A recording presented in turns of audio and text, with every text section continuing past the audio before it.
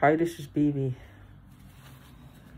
Right now, I was I downloaded one of those um thing that you measure your blood blood pressure with. Um, just I got a, a three day free trial. It's an app. My blood pressure, blood pressure, my pulse was fluctuating really, really. Went up to 130, 89, 88, 90 something, 1 something. It's like I just right now. It's this this this is right now. I feel like my throat, like the bones in my throat, starting to break almost. My chest feels like it's it's just on this this this whirring whirring sound in my ear. Somebody said they broke uh they broke the bone in in their ear.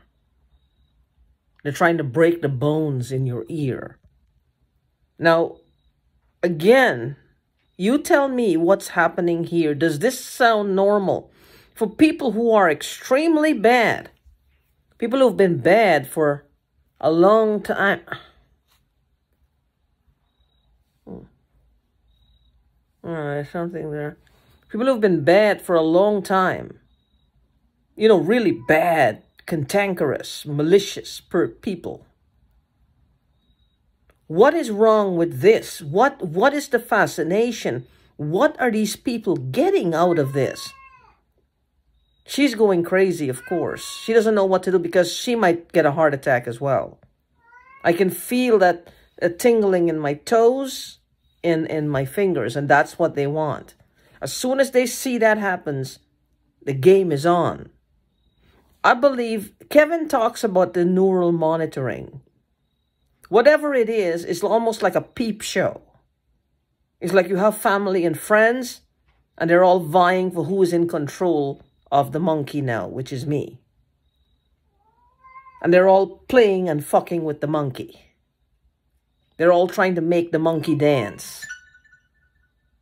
And then they're all waiting their turn now to, to make the monkey dance. This is what we've become. I don't understand this.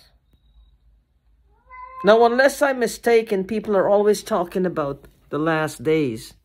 You tell me this has to be the last days. This doesn't make any other sense. She may get a heart attack before the night is over. I don't know. I don't know what to do. It's raining outside. I can't put her outside. I can't go outside. It's, it's wet outside this this is what they do. It's like sometimes you'd go outside and just, you know, get away from it. But now it's raining. So um, I can't go outside and she can't go outside. So they locked you in, basically. It, I don't know what to do. And I, I'm pretty sure I'm hearing a man grunting somewhere.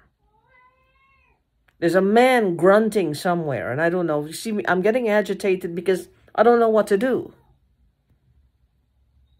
This is I, I don't I don't know what to do. If this was my house, I'd be all over that fucking attic. I don't know what to do. I'm so frustrated right now and, and there's, there's some some fucking monkey somewhere. They got me like the monkey. They're the fucking monkey hanging in the rafters. Like monkey ooga booga boogering up in the fucking rafters and the ceilings. Who the fuck climbs in ceilings and fuck with people? Like the like a puppeteer, crawling behind every, everywhere you go, crawling and following you. That's a fucking monkey. That's a monkey.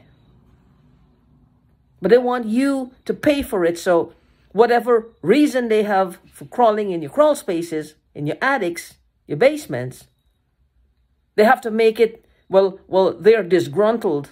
The reason versus the reason plus the fact that it's a crawl space that they have to resort to going to a crawl space. Now they have to make you pay for that. There's a reason and the fact that they're in a crawl space itself, which they're not happy with. So they have to make you pay for the fact that they're in a crawl space, if that makes sense. They got to treat you to like a piece of meat. Like they're, like they're hacking away at a piece of meat. These people the US government need to fucking do something about it. They really do.